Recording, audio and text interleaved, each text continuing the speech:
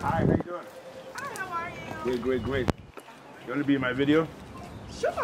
Uh, I was teasing though, but sure, come on, hop in. Oh, okay. All right. Hey, Hi. hey guys, this is Eze, and I don't know what's your name. Miss Hill, I'm the community school coordinator for this school. Yes, yo, we're here for the Okay. career day. Um, Oh, we're speaking about real estate. Oh, okay. So I brought my little key. Nice. Sold. That's what I want to get one day. I'm trying to get me a house too. So I wanted to have the kids, you know, hold this. you Okay. know, talk to the kids about real estate, Okay. the importance of real estate, and how you know it helps them grow, you know, that kind of stuff. Absolutely. Yeah, okay. yeah. So I'm excited. This is my first time doing this. I've never done anything like this before. Oh, Well, the kids are going to be excited. They're Sure. already amped up. We have a lot of different people here today. I see the Tons of police different cars. careers. Absolutely. I see uh, the firefighters are here. Um. Well, the firefight. Well, we're waiting for the fire truck, so we Oh, might have some of the representatives right now. Oh, okay, okay, okay, Yeah. okay. I don't know. I hope I'll be excited enough for them. You know, all I do is so. real estate. I real estate. Do kids like real estate?